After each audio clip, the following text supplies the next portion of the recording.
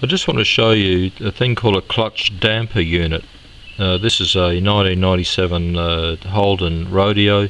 It's identical to the Isuzu Rodeo and uh, this actual little unit is uh, across a few different vehicles and it's worth looking uh, you know on your own vehicle to see uh, you know if you actually have one. Now what you're looking at there is the on the left the brake master cylinder. On the in the middle of the frame is the clutch master cylinder.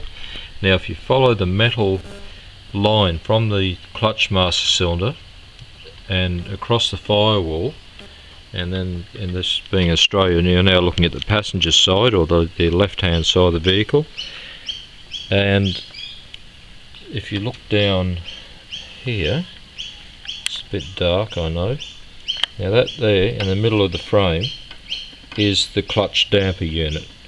It's D-A-M-P-E-R. I thought it was dampener with an N, but apparently it's damper. And here we go, that's a slightly better view of it there. And you can actually see there's a, uh, a bleed nipple at the side there, which is uh, on the left hand side of that little unit.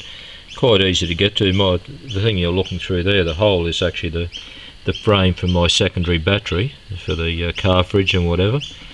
Right, now what I'll do is sorry, I'm just trying to, on my other hand here I've actually got a, um, just zoom out there. I'm just trying to uh, find the information here from the internet now it says, and I'm, I'm just quoting here, sorry it's get a bit boring watching my, my engine here, but uh, or part of it. Uh, it has been found that the disengagement um, concern, concern experienced with the subject vehicles have been incorrectly diagnosed as a faulty clutch.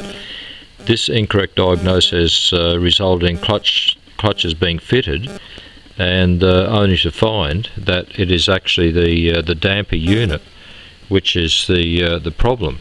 Now, obviously, the difference, well, the not obviously, but it is obviously a lot cheaper to uh, to replace a damper unit than it is to replace an entire clutch. Um, all that's inside it apparently is a spring and a diaphragm, and it's designed primarily to soften the uh, the impact on the fork for the clutch, and uh, and especially if the uh, if the clutch is accidentally like if your foot slipped off the clutch and the way it, it slams you know springs backwards quite rapidly and that is to uh, that's more or less to protect the uh, the clutch from the uh, the impact a rapid impact of that.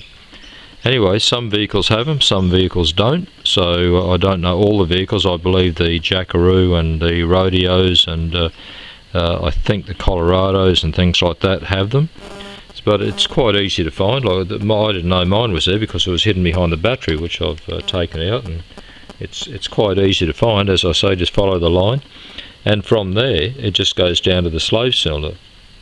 So you can bleed it out from there, and then uh, close that off, and then bleed out from the from the uh, slave cylinder. I presume.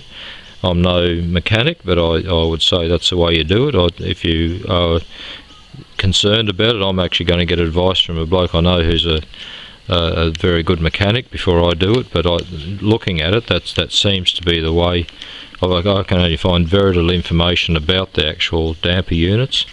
Uh, apparently, to find out if they're faulty, you bypass that. You actually run a hydraulic line from the clutch master cylinder, which is over there, yes, right in the middle, and you run it from there, you know, disconnect that line, it's direct to the slave cylinder, bypassing this little gadget in here, sorry, there it is, right down there, and so that bypasses that, and then if that solves your, your clutch issues, then you, you uh, I presume from what the, I've read, you then know that it's the uh, the damper unit that's at fault and not the clutch itself.